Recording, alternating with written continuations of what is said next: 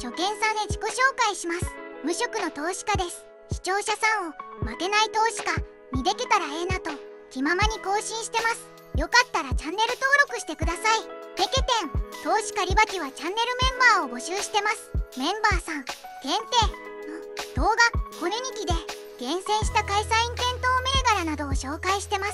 投資に関する真面目な話はそっちでしてるのでどなたでも応援がてら登録してくれると嬉しいです。細くおかげさまでメンバーさん増えてます。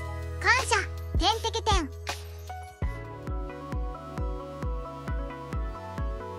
本日の日経平均はプラス381ポイントです。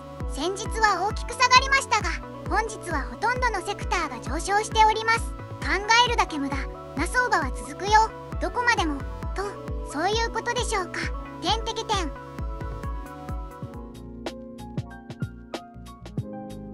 相場サイクル的には実感体感とは違いますが逆イールドが解消されており逆業績相場に一歩近づいた見方もあります。またハイテクが買われる日も多くなり早々と利下げが連想される動きも見せています。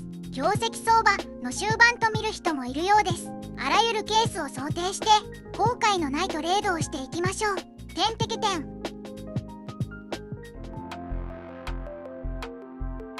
気になるニュースを紹介します。スタートアップ投資個人の上限拡大1社に100万円超も日経新聞ということで最近話題のスタートアップ投資に関して1社につき一律50万円までとしている個人の年間投資額の上限を年収などに応じて100万円以上に引き上げるとのことです。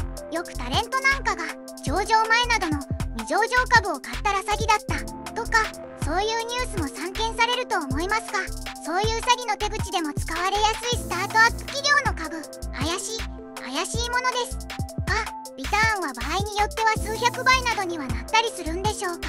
要するにハイリスク？ハイリターンな投資？投機？でしょうか？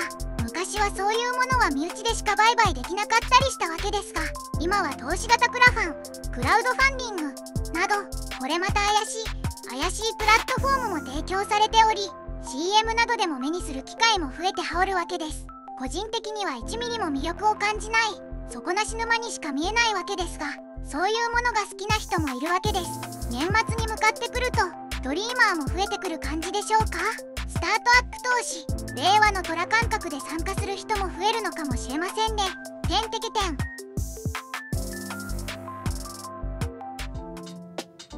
親愛なる皆さんごきげんよう。オール・オア・ナッシング。投資家リバティです。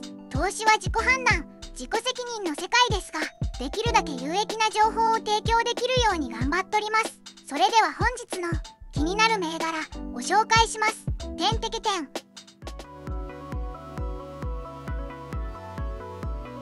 6920レーザーテック。なんやかんやで半導体が強い一日でした。レザテクに関してはマスクブランクス検査装置。で世界シェアを独占しており日本市場では頭一つ二つ抜けた人気株となっております。AI については規制と成長外立ちごっこしつつも確実にクオリティは上がっていっとるわけです。何がどうなろうが基本的には半導体銘柄は上がっていくしかないような宿命。でしょうか？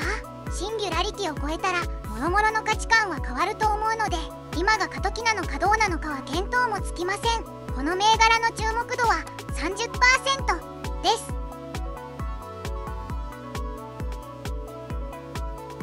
てんてけてん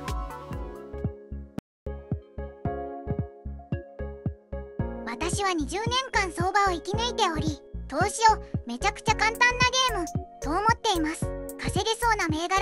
紹介したりしてるので応援がてらチャンネル登録してもらえたら嬉しいです。知りたいこと質問要望があれば気軽にコメントしてください。こうしたらこのチャンネルは良くなるなどのご提案もあったら教えてほしいです。てんてけてん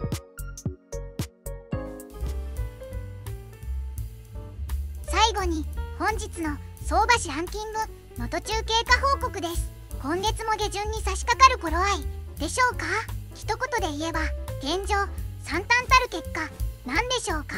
ほぼ全てマイナス。2桁マイナス銘柄も散見されます。